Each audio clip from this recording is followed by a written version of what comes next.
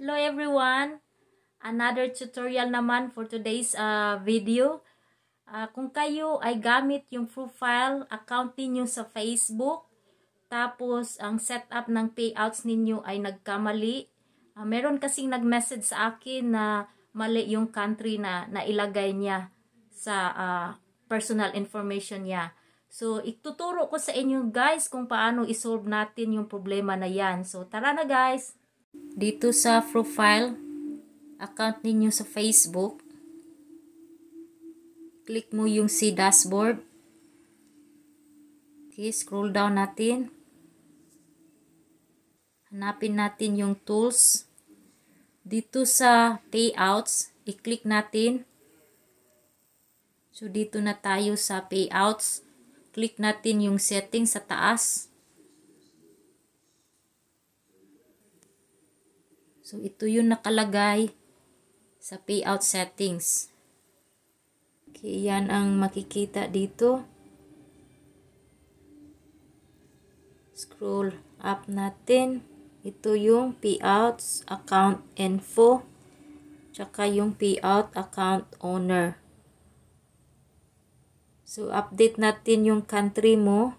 Dito tayo sa update. So, dito guys, yung enter your business info. Dito yung nagkamali yung country mo na gusto mong palitan. Pero ayaw siyang uh, gumana.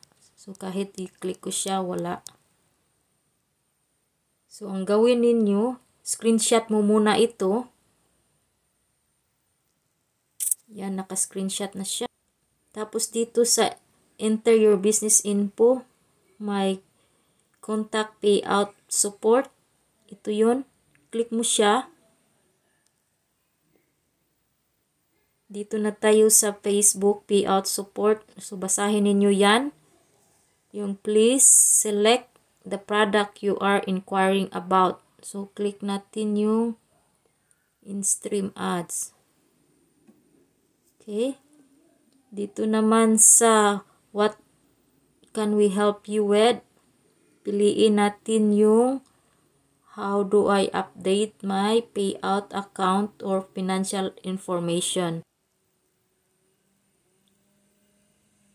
Tapos, dito sa choose files, yung naka-screenshot mo kanina. So, choose file. So, ito yun ang naka-screenshot mo. So, nandyan na. Nakalagay na yun sa files nila. Tapos dito sa baba, please let us know why you were writing in.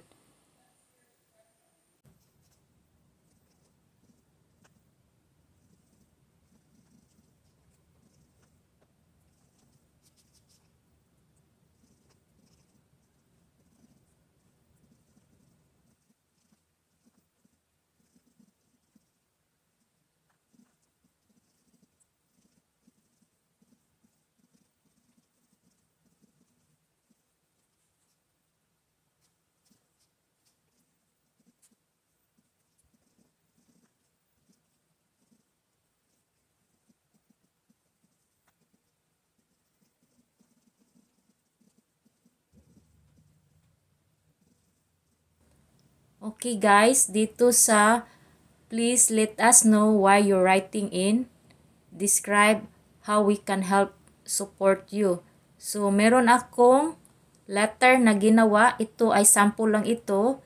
At dito sa baba, uh, ilagay ninyo yung complete full name ninyo. So nasa inyo na ito kung uh, kopyahin ninyo yung sample na letter na ginawa ko. So pagkatapos niyan guys, pindutin yung sent. Dito naman sa taas guys, yung sa homepage mo na may picture mo, tatlong dot, pindot natin yan. So dito natin aantayin yung reply na sinubmit ninyo kay Meta. Punta lang kayo dito sa baba. Help and support. Yan. Tapos dito sa support inbox guys. So magantay lang kayo sa reply ni Meta. I hope this video guys ay nakatulong sa inyo at paki-share na din sa iba para naman uh, makatulong tayo sa nangangailangan na i-solve itong problema na ito guys. At don't forget to uh, give this video a thumbs up kung nagustuhan ninyo. And remember, live life to the fullest and focus on a positive. If opportunity doesn't knock, build a door. Thank you for watching. Bye-bye.